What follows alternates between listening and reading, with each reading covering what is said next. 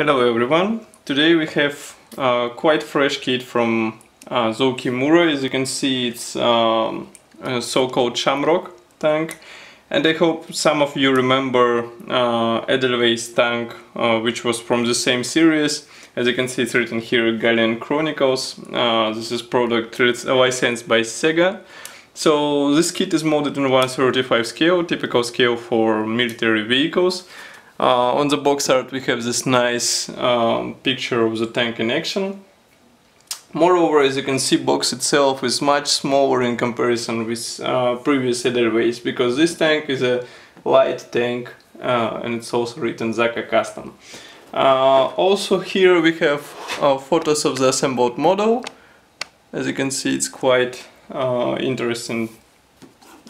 Uh, I mean, it looks quite interesting in assembled state and here we have some information written in Japanese. So this is top opening box and inside we find several sprues uh, of this I would say blue colored plastic so let's begin to check them one by one.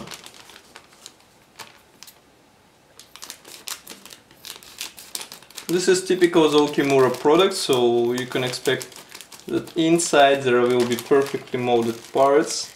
Nevertheless, it will be interesting to check them a bit closer because tank will feature very good detalization even for such uh, imaginative subject I would say. So here we have a first sprue. As you can see um, it features some external and internal parts and as you can see molding quality is very nice. For example this front uh, part is molded as a one piece. And also even some tiny components are molded here as you can see is one piece. Here you can see a turret which will be assembled from several parts. And also some external parts that will be placed on tank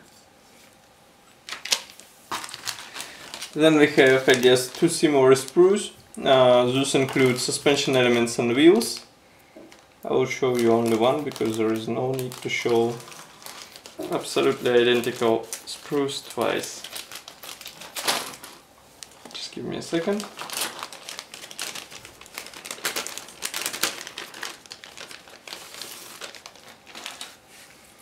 Here it is.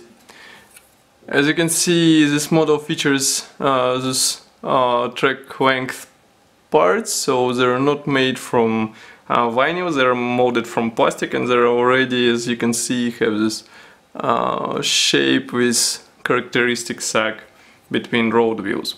Road wheels, by the way, are placed here. As you can see, molding quality is very nice. They're molded as one piece, so you won't have to glue anything and here you can see drive sprocket and idlers. Very nice quality. Here is some suspension elements. And here you can see other part of the tracks. Moreover quite an interesting feature here. You can see how Zoukei-Mura decided to do designations of the sprues so it will be easier to find them among other plastic frames. Next we have transparent sprue, small one one and only uh, and I guess it features parts for the visors and molding quality is excellent. I mean I don't see anything here to complain about. Then we have last sprue, which contains hull parts.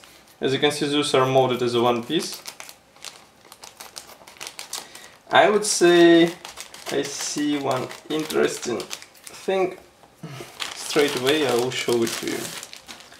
Uh, this tank will feature side armor, here you can see it and I think for ease of assembly it was designed as a single piece even though as you can see it's uh, I would say overlapping uh, against each other so I don't know, it still looks very nice and molding quality doesn't suffer from such solution, so we can, let's say, uh, consider this as a proper molding solution. Uh, whole bottom hull part will be assembled from several parts, while top one is molded, as you can see, is uh, this complex shaped segment which will be later covered with additional elements. And of course inside there is nothing and I don't see any flash or any other problems for this tank. Then we have this nice assembly manual, but nevertheless there is some small thing inside. Inside we find brochure, I guess, which is relevant for the Japan, and decal sheet. As you can see, decal sheet features all the necessary symbols, and printing quality is excellent even though there is no mention where it was printed. Then we have assembly manual itself, as I said, it's written in form of this nice brochure. Here we have colored photos and text written in Japanese, unfortunately. Here we have our parts map and assembly process starts. Pictures are quite typical for the Zoukei-Mura, so nothing special here. And I guess assembled model should look really nice. Moreover, uh, marking options are uh, the only one is shown here and as you can see there are some painting advices on how to achieve such a complex pattern on your small tank. Uh, that's all for today. Don't forget to check full review article on our website and I would like to recommend you to subscribe to this YouTube channel which you're watching now and also to like our Facebook group. Thank you for watching once again and see you soon.